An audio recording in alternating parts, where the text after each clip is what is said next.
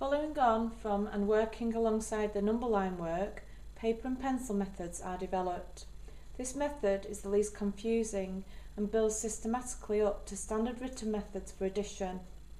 For example, with the question 83 plus 42, both numbers are partitioned into their respective tens and units. Tens and units. So 83 is written as 8 tens, which are 80, and 3 units, which are 3.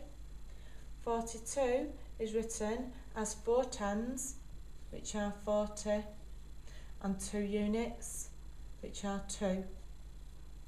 These two are added together. First starting with the units, where 3 plus 2 is equal to 5. Then 8 tens 80 plus 4 tens 40 are added together to give 12 tens, which are 120. These two numbers are then added back together so that 120 plus 5 is equal to 125. Therefore, 83 plus 42 is equal to 125 as our final answer. When a three-digit number is added to a two-digit number, they are each partitioned accordingly into their respective hundreds, tens and units and tens and units. So for the question 358 plus 73, first of all 358 is partitioned into three hundreds, which are 300, five tens, which are 50, and eight units, which are 8.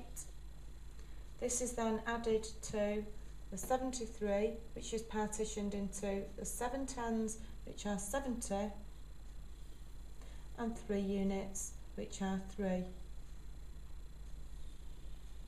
We then add them together, starting with the units first, in that 8 plus 3 is 11, 5 tens 50, plus 7 tens 70 gives us 12 tens, which are 120, and then 300 is added to 0, which leaves us as 300.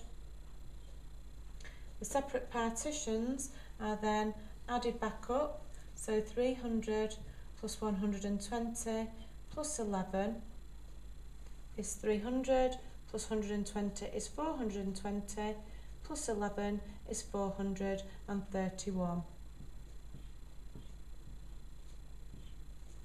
Therefore 358 plus 73 equals 431, the final answer.